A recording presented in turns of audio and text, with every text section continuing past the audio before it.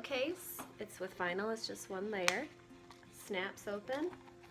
There's, you know, needles or whatever other little stuff. I guess you could put really anything in there, even sewing feet. Snap it shut, take it on whatever retreat or trip you're going on and doesn't have to be just for sewing either. These would make really cool stocking stuffers like my friend Wendy Franzak said. Okay, so I've cut out the flat portion from my piece of paper and I'm gonna add it, I'm gonna tape it here matching in the circles.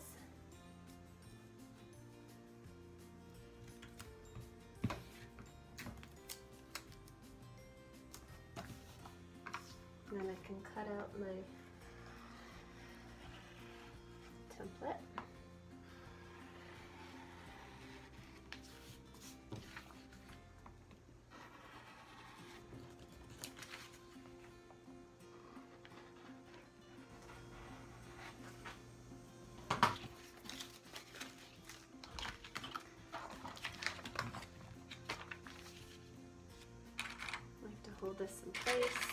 It along a straight edge so you have less to cut.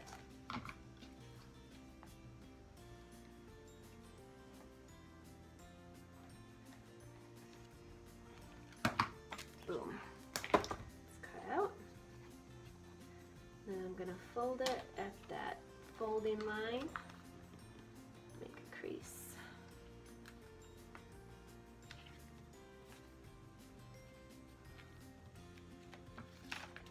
remove the template. Now at this point, if you'd like to insert the snaps, do so now. I think it's easier uh, to insert them before you sew the sides together. But if you're not going to, you could just put your clips now and sew down the sides. Because some people have asked, is it easy to cut vinyl? It absolutely is. Even this 20 gauge, it just I just use scissors and I cut my pattern piece out. Very, very simple. These are just normal scissors. I also often use my rotary cutter for, for bigger projects. So don't have a fear. This 20 gauge is strong and durable, but pliable, easily bendable, easily cut. You'll be fine. Okay, I'm just to attach my snap. I've marked where my snap goes and I've put the cap through because it's got that spiky thing to hold it in place. I did it for this side too, and just to make sure that they're in the right spot. So for this one, this is the socket portion, so I'm going to go ahead and put that in there. And that one's in. I have a snap press tutorial on the blog under the tutorials page if you want to see this process more in depth. So I'm taking the male piece, the pr protruding piece, putting it in there, making sure this is lined up correctly.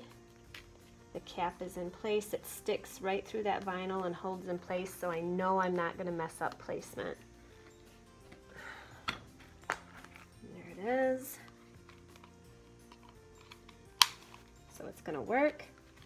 Now all I need to do is sew down the sides. I'm going to make sure this is nice and even and use my Wonder Clips to hold the vinyl in place while I sew.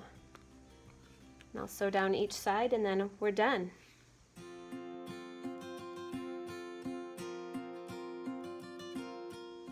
I've put on my Teflon foot. It's white from my machine and I'm just going to sew down those sides.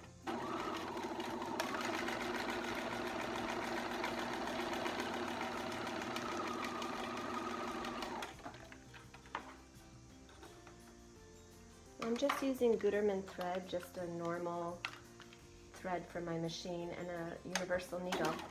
If you're having trouble, you might want to try a denim needle.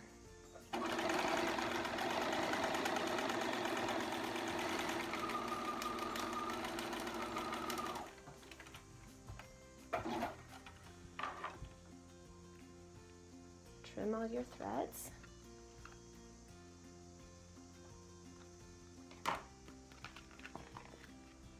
There the needle case is finished.